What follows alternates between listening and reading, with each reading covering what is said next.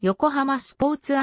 カルチャークラブは日本の神奈川県横浜市をホームタウンとする日本プロサッカーリーグに加盟するサッカークラブである。故障は YSCC 横浜。1986年に横浜スポーツクラブとして創設。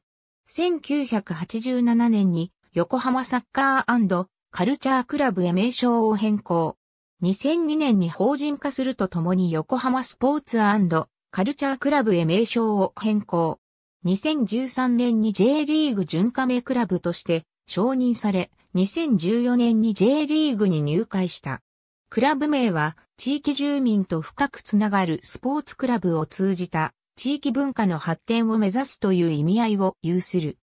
設立の経緯もあり、2011年時点でプロサッカークラブ化はせずにアマチュアとして地域スポーツ文化活動の振興を目指すとしていたが、2014年より運営体制は現行を維持しつつも、J リーグ入会に伴って一部選手の契約をプロに切り替えている。ホームスタジアムは日発三沢球技場、練習場は横浜カントリーアスレティッククラブ及び海の公園なぎさグランドである。マスコットキャラクターは、オカピとペガサスがモチーフのハマピー。一般公募により、2020年12月19日に誕生した。クラブのルーツは、メキシコオリンピック後の1964年に発足した横浜中区スポーツ少年団にまで遡る。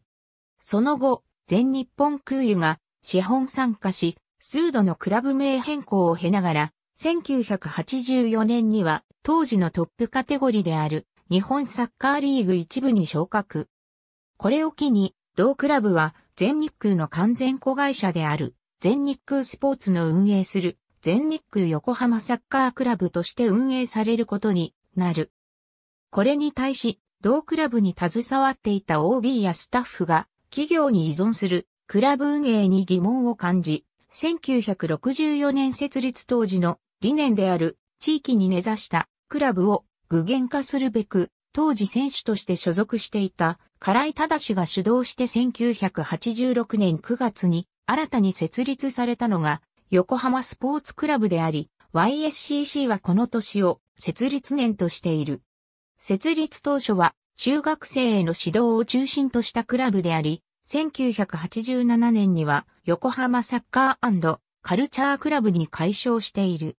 1988年、トップチームが神奈川県社会人サッカーリーグに参加し、最も下のカテゴリーである3部に参戦。翌1989年に同2部に、1990年に同1部に昇格。2002年には運営母体が特定非営利活動法人化すると、共にクラブ名を横浜スポーツカルチャークラブへ変更した。2003年に開催される第37回関東サッカーリーグが2部制に移行することに伴い関東リーグ2部へ自動昇格を果たす。参戦2年目の2004年、関東リーグ2部2位となり、1部に自動昇格。2006年に初優勝した。2011年、関東リーグ1部で4度目の優勝を果たすとともに、4回目の出場となった第35回全国地域サッカーリーグ決勝大会で優勝、日本フットボールリーグへの昇格を果たす。2013年、翌年からの J3 リーグ創設が発表されると、クラブは J リーグ参入へと大きく方針転換する。6月には J リーグ準加盟の申請書を提出し、8月20日に J リーグ理事会で準加盟が承認され、11月19日には J リーグへの入会が承認され、J3 リーグへの参入が決まった。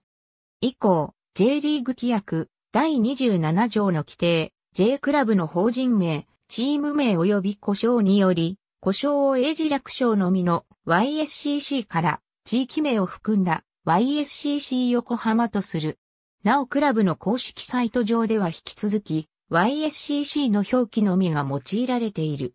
ホームスタジアムは神奈川区の日発三沢球技場である。過去のホームゲーム開催スタジアムは横浜スポーツ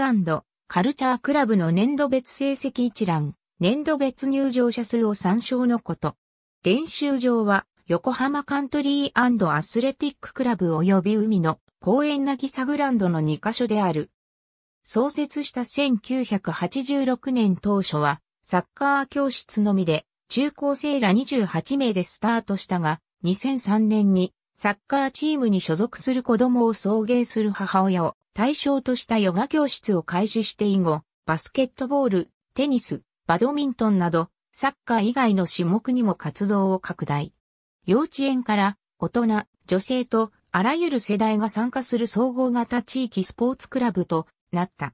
また、2005年に日本体育協会の総合型地域スポーツクラブ育成支援事業育成指定クラブに認定された。育成部門として、ユース、ジュニアユース、U-12 アカデミー、U-10 アカデミーを有する。